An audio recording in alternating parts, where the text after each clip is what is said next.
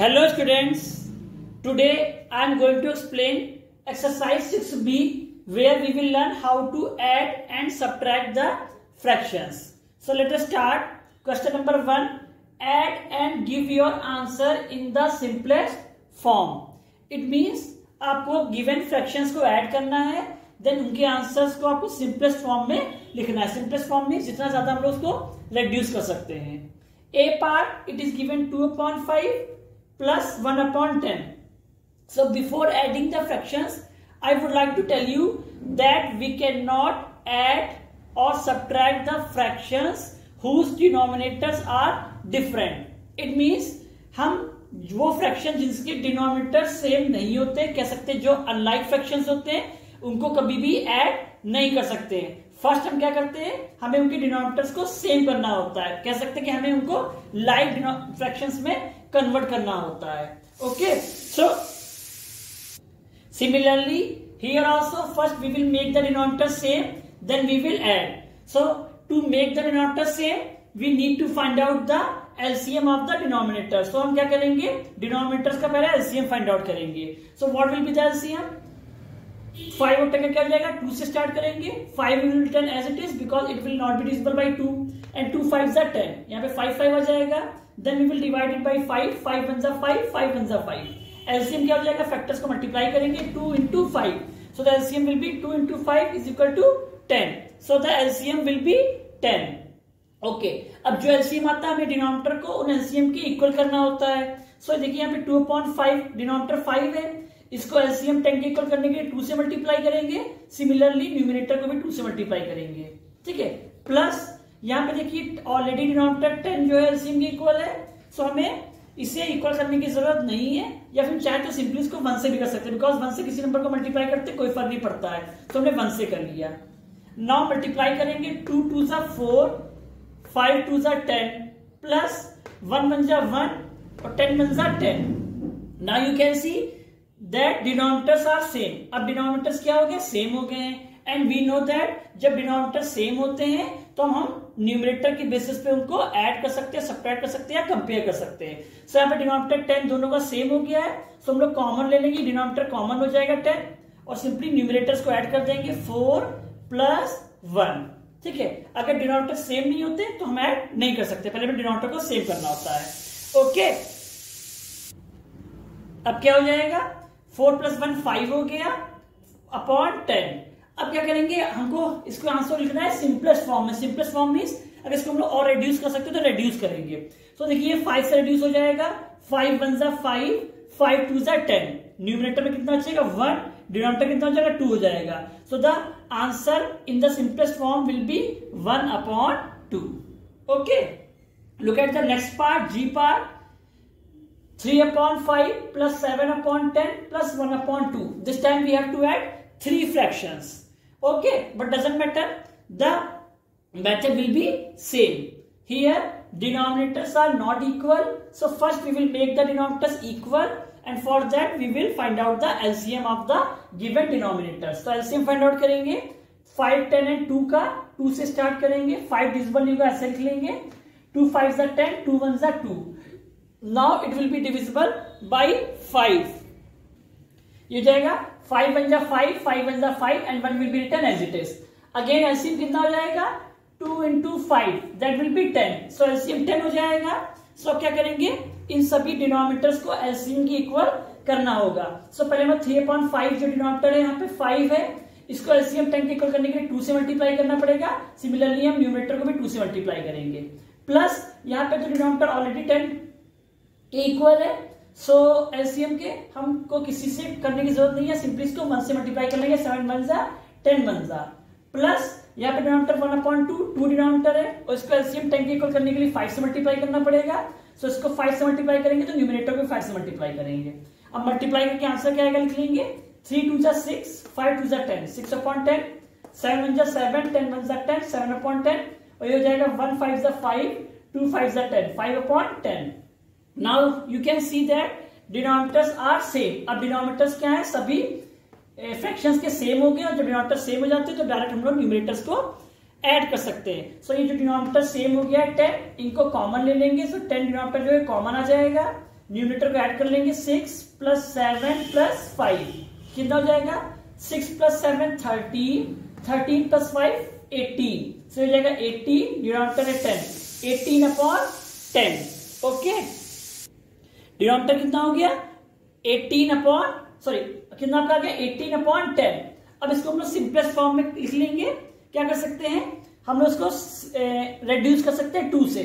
और जिससे हम न्यूमरेटर को रिड्यूस करते हैं उसी से डिनोमिनेटर को भी रिड्यूस करेंगे। ये नहीं कि अलग अलग नंबर से आप रिड्यूस करें। सो so, ये टू से जाएगा टू फाइव जा टेन टू नाइन जा एटीन ये गया नाइन अपॉन फाइव अब इसको और रिड्यूस तो नहीं कर सकते हैं। ठीक है? अभी किसी और नंबर से रिड्यूस नहीं होगा, दोनों नंबर जो फाइव और नाइन से हो जाए सो हम लोग क्या करेंगे? और हम लोग इसको मिक्स्ड फॉर्म में लिखेंगे, ठीक है? जो मिक्स फॉर्म होती है, वो सिंपलेस्ट फॉर्म होती है। मिक्स फॉर्म में कैसे लिखेंगे? देखिए, यहाँ पे हमको नाइन को डिवाइड करना है फाइव से। हम डिवाइड करेंगे फाइव वन जा फाइव सपरेट करेंगे फोर रिमाइंडर बचेगा। Now look at very carefully how to represent the fraction in mixed form देखिए, ये जो डिनोमिनेटर होता है फाइव ये अपनी प्लेस पे रहता है। सो डिनोमिनेटर फाइव ये अपनी प्लेस पे रहेगा। ठीक है?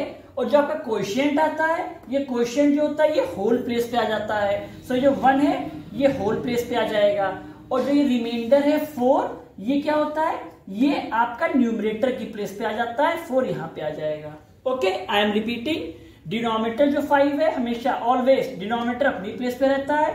जो क्वेश्चन वन आया है क्वेश्चन हमेशा होल प्लेस पे आ जाता है और जो आपका रिमाइंडर होता है, वो ऑलवेज न्यूमरेटर की प्लेस पे आ जाता है। So the simplest answer will be one whole four upon five okay next question number two subtract and give your answer in the simplest form.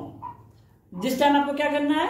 Subtract करना है एंड आपको आंसर सिंपलेस्ट फॉर्म में लिखना है। B part seven upon eight minus five upon twelve as I told you that we cannot add or subtract their fraction uh, we cannot add or subtract the fractions unless the denominators are same here also denominators are not same so first we will make the denominator same हम denominators को equal करेंगे so for that we will find out the LCM so हम eight and twelve का LCM find out करेंगे ये जाएगा two four जा eight two six जा ट्वेल्व टू टू जा फोर टू थ्री जा सिक्स टू वन जा two and three will be return as it is then three one ये तो वन ऑलरेडी था थ्री वन जा थ्री एलसीएम कितना हो जाएगा? Two into two into two into three two two जा फोर फोर टू जा एट एट थ्री जा twenty four so the LCM will be 24 it means हमें जो डिनोमिनेटर्स है इन्हें एलसीएम 24 के इक्वल करना होगा.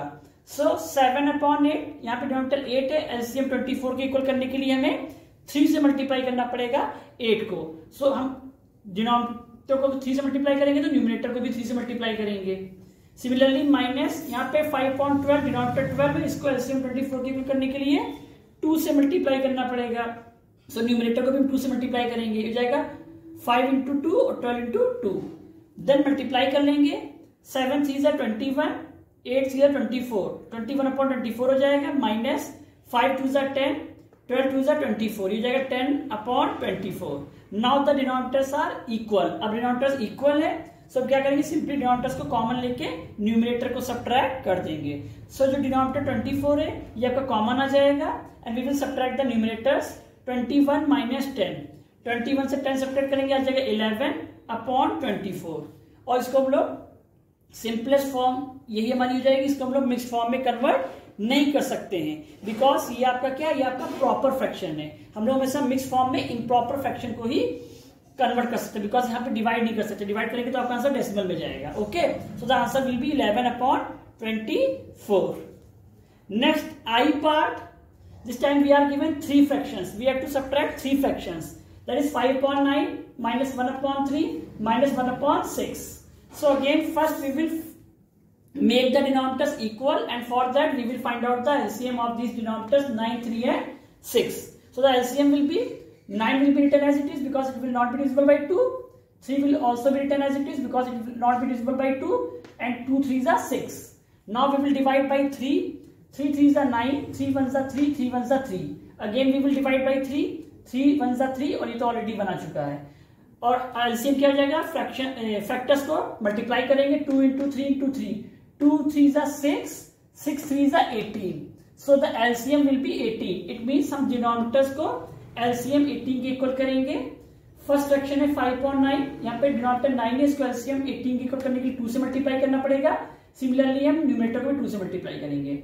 माइनस ये आपका 1 अपॉन थ्री यहाँ पे डिनोमिनेटर 3 है एलसीएम 18 है.